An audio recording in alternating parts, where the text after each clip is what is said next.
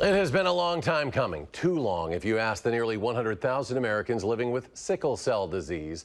For the first time in nearly 20 years, the FDA has approved a new medicine to treat it.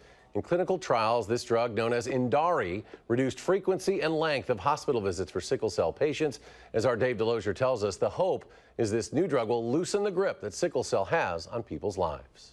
Five, six, seven, eight. And I've just always been dancing since I can remember. In a studio, teaching high school students to dance, that is Marina Fogi's passion. When I'm dancing, it's just, I'm not thinking about anything else. Dance offers a respite but doesn't alter a reality.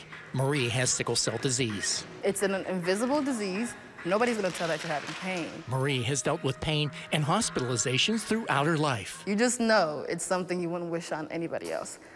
I just, I don't know, talk about feeling like somebody is stabbing you with a knife and just like, I don't know, just whining it, twist, twisting it all over your body.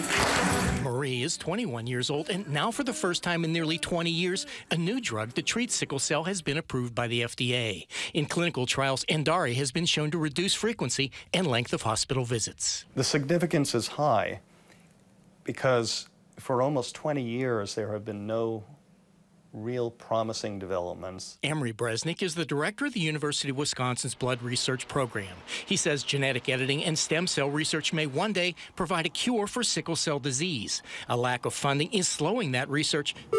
But when you consider U.S. hospitalization costs for sickle cell top $1.1 billion every year. Versus a single curative therapy that might be quite expensive at day zero. Uh, at the end of the day, the curative therapy might be economically more viable.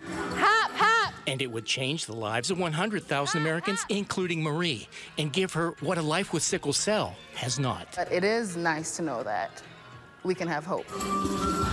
In Madison, this is Dave Delozier, WISC News 3. Endari, the drug recently approved by the FDA, helps to protect the cells of patients. It focuses on reducing the complications of sickle cell disease. The gene editing that is being worked on could one day provide a cure.